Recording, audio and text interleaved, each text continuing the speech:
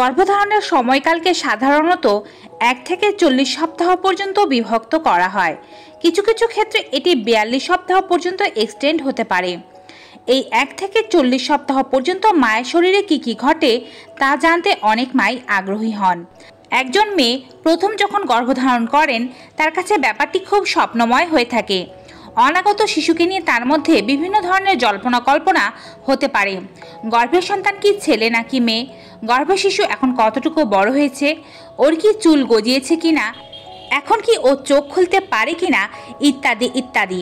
এ সমস্ত কিছু জানতে কিন্তু প্রয়োজন ছাড়াই আপনি আল্ট্রাসাউন্ড করতে পারেন না।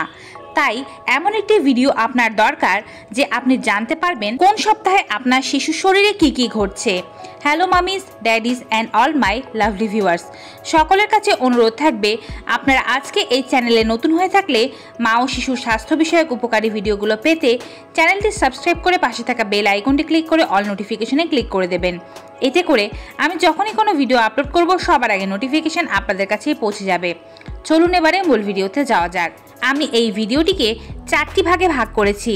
অর্থাৎ প্রথম ভাগে আপনারা এক থেকে দশ সপ্তাহ পর্যন্ত শিশু শরীরে কী কী ঘটছে তা জানতে পারবেন। দ্বিতীয় ভাগে এগারো থেকে বিশ সপ্তাহ। এভাবে চার ভাগে ভাগ করা হয়েছে। কারণ একটি ভিডিওতে সম্পূর্ণ ধারণা দিতে গেলে আপনারা হয়তো বিরক্ত বোধ করবেন বা ভিডিওটি অনেক লং হয়ে যেতে পারে। তো চলুন এবারে মূল ভিডিওতে যাব। প্রথম তিন সপ্তাহ আপনার শরীরে কি কি ঘটে? প্রথম তিন সপ্তাহ যে আপনি গর্ভবতী তা আপনার জানারই কথা না। গর্ভধারণের গণনা শুরু হয় আপনার লাস্ট মিনস্ট্রেশনের প্রথম দিন থেকে। অর্থাৎ লাস্টবার আপনার যে পিরিয়ড হয়েছে, তার প্রথম দিন থেকে শুরু হয় আপনার গর্ভধারণের প্রথম দিন। এরপরে ধীরে ধীরে করে আপনার ওভারি থেকে একটি অথবা দুটি ডিম বের হয়। সঙ্গীর সাথে মিলিত হওয়ার ফলে এক পর্যায়ে গিয়ে এই ডিম্বাণু নিষিদ্ধ হয়। এবং নিষিক্ত ডিম্বাণু গড়িয়ে গড়িয়ে আপনার ফেলোপিয়ান টিউব হতে গর্ভাশয় গিয়ে স্থাপিত হয়। এই কাজটি সম্পন্ন হতে মোটামুটি তিন সপ্তাহ পর্যন্ত লেগে যায়। আপনার যদি একটি ডিম্বপাত হয় এবং সেটি নিষিক্ত হলে আপনার গর্ভে একটি সন্তান স্থাপিত হয়। আর যদি একের অধিক ডিম্বপাত হয়, সেক্ষেত্রে যমজ সন্তান বা তার চেয়ে বেশি সন্তান গর্ভাশয়ে স্থাপিত হতে পারে। এই গেল প্রথম তিন সপ্তাহ। এবারে আসি গর্ভধারণের চতুর্থ সপ্তাহে আপনার শরীরে কি হচ্ছে। নিষিক্ত যে ডিমটি ফেলোপিয়ান টিউবের মধ্যে দিয়ে জরায়ুর দিকে এগিয়ে যায়, সেই ডিমটি একটি একক কোষ হতে শুরু করে এবং পুনরায় পুনরায় সেটা বিভিন্ন অংশে বিভক্ত হতে থাকে।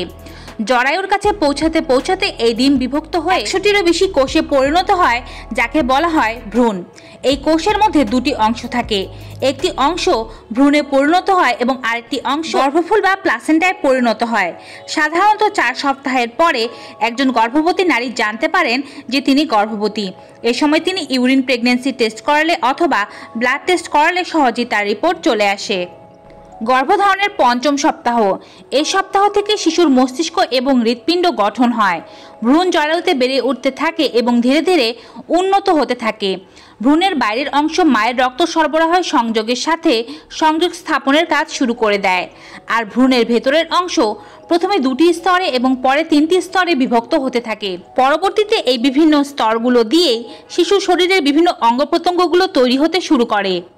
গর্ভধারণের ষষ্ঠ সপ্তাহ। এই সপ্তাহে শিশু খুব তাড়াতাড়ি বাড়তে থাকে এবং শিশুর পিছনের দিকে স্নায়বিক নালীটি বন্ধ হয়ে যায় এবং শিশুর হৃৎপিণ্ড রক্ত চলাচল শুরু করে। এই সময় শিশুর কানের অভ্যন্তরীণ অংশ চোয়ালের সাথে সংযোগ স্থাপন করে এবং শিশু শরীর ইংরেজি লেটার সি এর মতো আকৃতি ধারণ করতে শুরু করে। এবারে আসি সপ্তম থেকে অষ্টম সপ্তাহে কি কি হয়? এই সপ্তাহে শিশুর মস্তিষ্ক এবং মুখমণ্ডল আগের থেকেও সুগঠিত হতে থাকে। নাকের ছোট ছোট দুটি ফুটো স্পষ্ট হতে থাকে। চোখের লেন্স গঠিত হতে থাকে। এই সময় ছোট ছোট শাখা প্রশাখার মতো করে তার হাত পাগুলো স্পষ্ট হতে থাকে। এই সময় শিশুর তরুণাস্থি গঠিত হয়, যা পরে পায়ের এবং হাতের হাড় হিসাবে পরিণত হয়। উপরের ঠোঁট এবং নাক গঠিত হতে থাকে সপ্তম থেকে অষ্টম সপ্তাহে। এবারে আসি নবম ও দশম সপ্তাহে আপনার শিশুর শরীরে কি কি ঘটছে। তার আগে আপনাদেরকে জানিয়ে রাখি, আমার চ্যানেলে ইতোমধ্যে দুটো ভিডিও আপলোড করা হয়েছে, যার মধ্যে চার থেকে চল্লিশ সপ্তাহে আপনার শিশুর ওজন ও আকৃতি কতটুকু হয় এবং চার থেকে চল্লিশ সপ্তাহে আপনার শিশু কোন ফল বা সবজির আকারে বড় হয় সেই বিষয়ে আমি বিস্তারিত আলোচনা করেছি। তার সাথে চার থেকে চল্লিশ সপ্তাহ পর্যন্ত শিশুর বৃদ্ধি কীভাবে হয় সে বিষয়েও ভিডিও আপলোড করা আছে। ভিডিওগুলোর লিঙ্ক ডেসক্রিপশন বক্সে এবং ইনস্ক্রিনে দেয়া থাকবে। আপনারা যারা ভিডিওগুলো দেখেননি, দেখে নিলে আশা করছি অনেক উপকার পাবেন। এবারে আসি নবম থেকে দশম সপ্তাহে আপনার শিশুর শরীরে কি কি ঘটছে। অষ্টম সপ্তাহের মতো নবম সপ্তাহ আপনার শিশুর শরীরের মুখমণ্ডল ও শরীর গঠিত হতে থাকে। চোখ বড় এবং আরও সুস্পষ্ট হতে থাকে এবং সেখানে কিছু রঙও থাকে। মুখ ও জিহবা থাকে এবং সাথে সাথে কিছু ছোট ছোট স্বাদতন্ত্র গঠিত হতে শুরু করে। হাত এবং পায়ের আঙ্গুলগুলো গঠন হতে শুরু করে। অপরপক্ষে দশম সপ্তাহে শিশুর মাথা আরও বেশি গোল হতে থাকে এবং ঘাড় ও গলা গঠিত হয়। এই সময় শিশুর চোখের পাতা বন্ধ থাকে চোখকে রক্ষা করার জন্য। চোয়ালের হাড় গঠন হতে শুরু করে। শিশুর হৃৎপিণ্ড এই সময় পুরোপুরি গঠিত হয়ে যায়। সাধারণত ষষ্ঠ সপ্তাহের দিকে আল্ট্রাসাউন্ড করলে শিশু হৃৎপিণ্ডের আওয়াজ শুনতে পাওয়া যেতে পারে। তবে কিছু কিছু শিশুর ক্ষেত্রে ভিন্নতা দেখা যায়। ষষ্ঠ সপ্তাহেও তাদের হার্টবিট আসে না। সেক্ষেত্রে অষ্টম, নবম, দশম সপ্তাহের মধ্যে চলে আসতে পারে, চিন্তার কোনো কিছু নেই। এরপরেও যদি শিশুর হার্টবিট না আসে, সেক্ষেত্রে এটি চিন্তার কারণ হতে পারে। দ্রুত চিকিৎসকের পরামর্শ নেওয়া উচিত এবং পরবর্তী যে স্টেপ চিকিৎসক ভালো মনে করেন, তাও গ্রহণ করা উচিত। ভিউয়ার্স এই ছিল এক থেকে দশ সপ্তাহের মধ্যে শিশু শরীরে কি কি পরিবর্তন আসে সে বিষয়ে অল্প বিস্তর ধারণা।